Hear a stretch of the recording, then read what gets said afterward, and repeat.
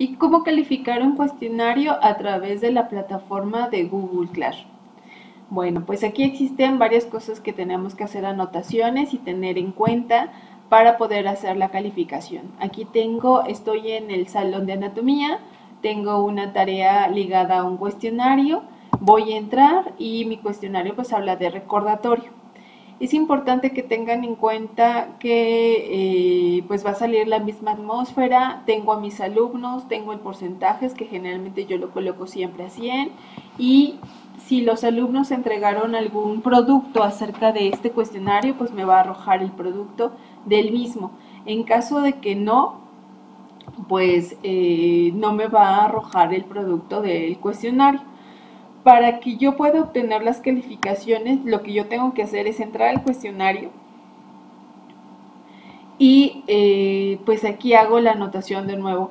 Recuerden que en el video anterior yo les mencionaba que algo que es muy importante siempre colocar es solicitarles a los alumnos que coloquen el nombre completo para que a la hora de que yo califique, por ejemplo, para poder obtener las calificaciones por alumno, yo tendría que entrar a mi cuestionario, le doy a editar formulario y me voy a la opción de respuestas. Entonces, en esta opción de respuestas, yo voy a obtener los globales de mis alumnos y qué fue lo que contestaron estos alumnos.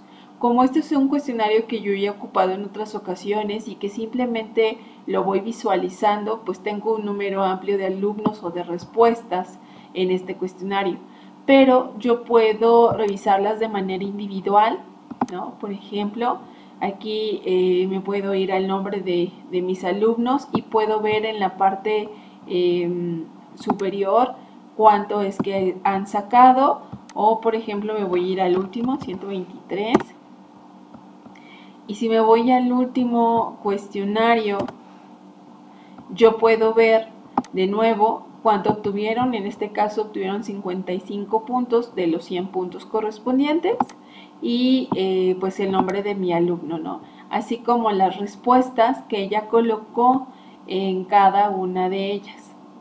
Aquí es importante que tengan en cuenta, por ejemplo, este es un cuestionario que yo realicé eh, y dejé como respuestas abiertas.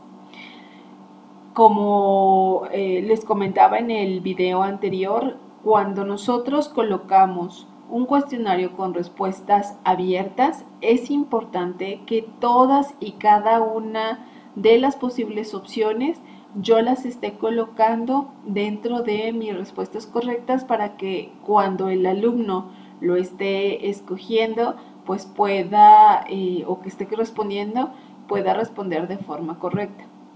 En este cuestionario en particular, una de las instrucciones que yo dejé para que todos los alumnos pudieran eh, pues contestar de la mejor manera es que las respuestas tendrían que venir en mayúsculas y sin acentos, sin el, eh, lo voy a colocar, sin el artículo, eh, aquí están las instrucciones, escribe el nombre de la estructura que esté señalado en la siguiente imagen, la respuesta debe de estar escrita en mayúsculas, sin errores ortográficos, sin abreviaturas, sin escribir el artículo en singular y sin acentos para que sea tomada como correcta.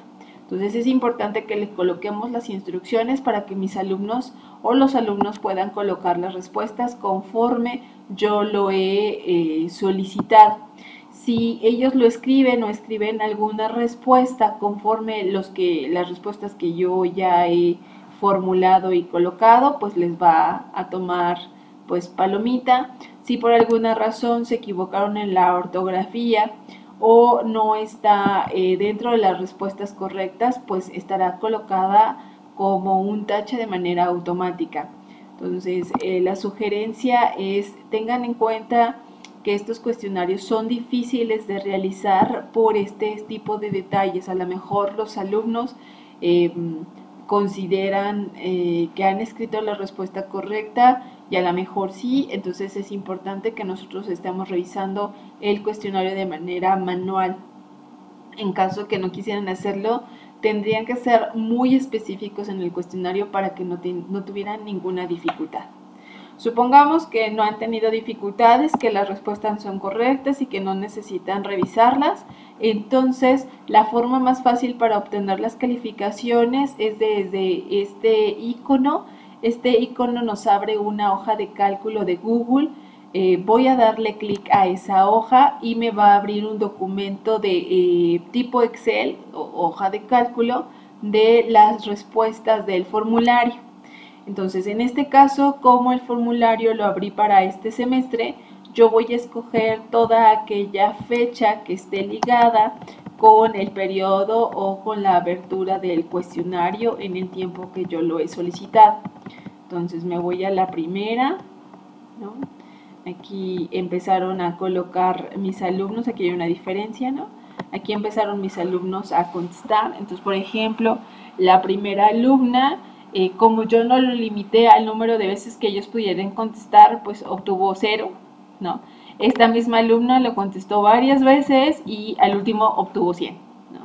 Em, aquí va a depender mucho de las instrucciones que ustedes hayan dado al principio de su salón o en el cuestionario. Por ejemplo, mis alumnos saben que pues ellos pueden contestar tantas veces ellos desean, pero la respuesta que será tomada como parte de su calificación será la primera que ellos hayan emitido. ¿no? Entonces, si fuese así, pues entonces yo ubico a la alumna, en este caso es Paola Cabrera Alcántara, eh, ella obtuvo una calificación de cero, me vuelvo a ir a mi salón y busco a mi alumna. ¿no? Y una vez que yo ya la haya encontrado, estoy buscando a mi alumna Paola, ¿no? Yo una vez que ya lo he encontrado, yo le pongo la calificación obtenida, que en este caso es 0. Así con cada uno de mis alumnos, como es una hoja de Excel, yo lo que podría hacer también es irme en sentido contrario, busco a Adrián Borja Alba, me voy al Excel y, o a la hoja de cálculo y eh, yo lo busco, ¿no? Em, le doy en editar, buscar reemplazar y busco al alumno llamado Adrián. Y entonces, por ejemplo, aquí ya lo encuentro, ¿no? Este es su cuestionario, es el primero y él obtuvo 60.